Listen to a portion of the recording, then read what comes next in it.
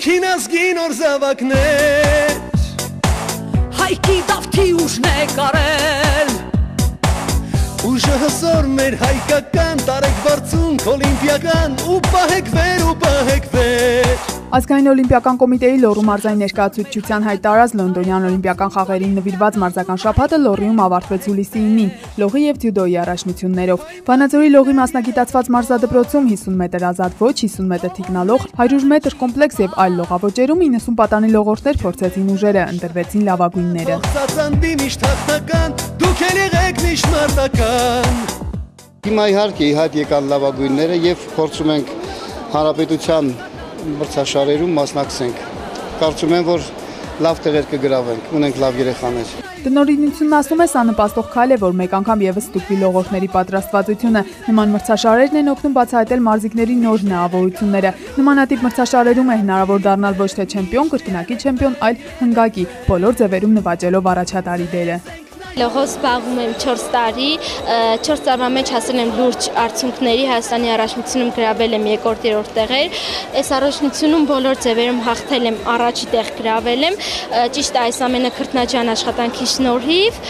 բայց դեռ ակնկալիքներն ու հույսերը շատ մեծ են։ Պատանի լողորդներից ոմանց համար մեդալը առաջին հաղթանակն է, ոմանց համար հերթական ձեռքբերումը, արդյունքը մեկն է՝ հաղթանակի գիտակցումն ու ողջավորությունը։ Հերթը ձյուդոին է, տատամիում մարզի տարբեր տարածաշրջանների մարզիկներն են։ Պայքարը օլիմպիական խաղերին նվիրված մեդալի համար ավարտված է։ Եզրափակիչ մարտերից հետո պարգևները գտնում են տերերին։ Հաղթող դյուդոիստների պարգևատրումից հետո ժամանակն է ամփոփել մրցաշարային շփաթվա արդյունքները, գնահատել մարզիկների նվիրված աշխատանքն ու մրցավարների անաչառ դատը, նկատել մարզիկների առաջընթացը հաղթանակի համար մղվող անսիճուն պայքարը։ Ես անձամբ բոլոր սպորտաձևերի մեջ նկատեցի, որ մարզիկները մեդալի համար մի հատ յուրահատուկ ձև պայքարում էին եւ այդ մեդալները անգամ որ տուն գնալուց էին ելնում մեդալները չէին հանում իզներին գցած մեդալներով գնում էին տուն ու մի հատ ուրիշ ուրախություն էր մենք մանուկ տարիներին պատանին տարիներին ապրել ենք այդ ապրումները եւ ես իրանց քաչ գիտակցում եմ որ